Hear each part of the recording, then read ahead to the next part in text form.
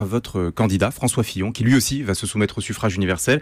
Doit-il, euh, selon vous, Jean-François Lamour, euh, adoucir, adoucir son programme économique et social? Est-ce que c'est ce qu'il doit dire aux Français en janvier? Euh, si vous, si vous, vous entendez par adoucir, détricoter ce qu'il a patiemment construit depuis cinq ans, après son expérience de Premier ministre pendant cinq années aussi, aux côtés de Nicolas Sarkozy à, à, Matignon, je pense que les Français ne le comprendraient pas. Qu'ils doivent expliquer faire de la pédagogie, expliquer surtout la cohérence du projet qu'il a proposé à celles et ceux qui sont venus euh, voter à la primaire. Alors, ça, c'est indispensable. Mmh. Et nous avons quatre à cinq mois pour le faire. Mmh.